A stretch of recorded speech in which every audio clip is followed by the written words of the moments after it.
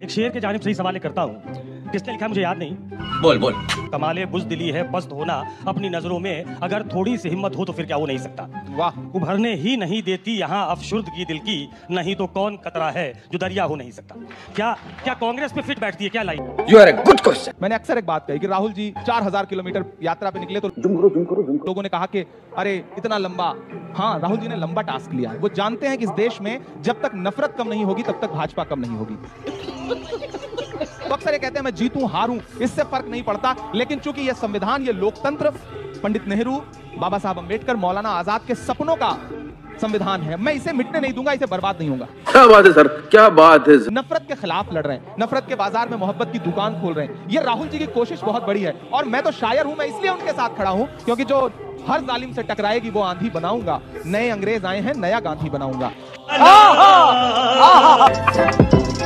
ये गाना किस समय बना था? हाँ। महँगाई मार गई महँगाई डायन खाए जाते है। मैं नहीं बताऊँगा।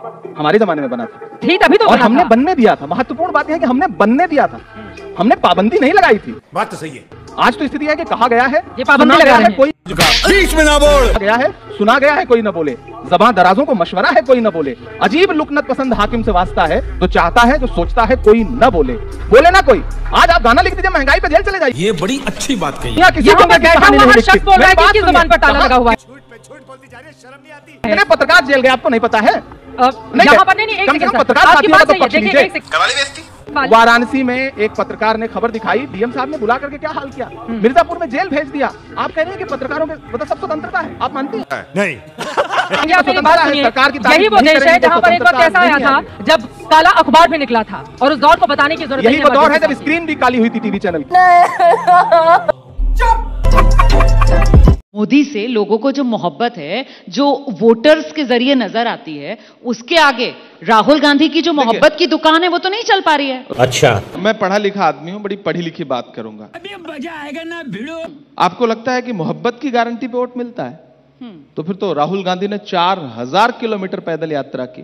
उससे बड़ी मोहब्बत की गारंटी क्या हो सकती थी? बात तो सही है। आप लोग मोदी जी से बहुत मोहब्बत करते हैं इस मोहब्बत करवाने में सुबह शाम दिन भर में मीडिया जो योगदान कर रहा है। तोबा तोबा। राहुल गांधी से लोग मोहब्बत करें इसके लिए आपके पास क्या है? राहुल गांधी से लोग बहुत मोहब्बत करते हैं इसमें कोई दो राय नहीं। क्यों? हम, हम क्यों करेंगे लोग मोहब्बत? बीच में ना बोल। एक कारण बता दीजिए क्यों नहीं आप बता दीजिए आप मुझे मुझे बता दीजिए एक कारण बता दीजिए मैं चैलेंज कर रहा हूँ। अरे क्योंकि राहुल गांधी जैसा पढ़ा लिखा व्यक्ति राहुल गांधी जैसा शरीफ आदमी राहुल गांधी जी जैसा संभ्रांत व्यक्ति विजनरी आदमी। कैमरा बंद कर। नहीं। मुझे ब्रेक पर जाना है। बेटा देश के बाहर जाकर के ही देश की बुराई करेंगे then it will be a negative effect on our country एक बात बताओ। प्रधानमंत्री नरेंद्र मोदी की अगर वो बुराई करते हैं विदेश में जाके तो देश का अपमान करते हैं कि नहीं? जी बिल्कुल देश का अपमान ही है एक तरीके से आप वो एक संवैधानिक पद पर बैठे हुए हैं कोई संवैधानिक पद पर कोई व्यक्ति बैठा हुआ है। लाइक हम राष्ट्रपति का भी सम्मान नहीं करते अपने लोग तो यानी कि एक तरीके से हम अपने संविधान का अ, ये फंस गया। दूसरी बात है कि एक पार्टी के नेता के तौर पर विदेश जाना एक भारत देश को रिप्रेजेंट करना दोनों दो चीज़ मानते हैं कि नहीं?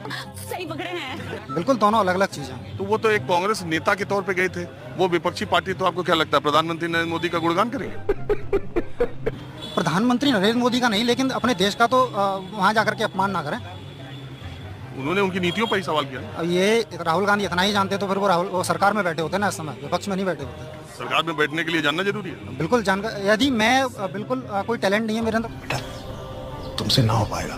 तेजस्वी लोग हैं हमारे।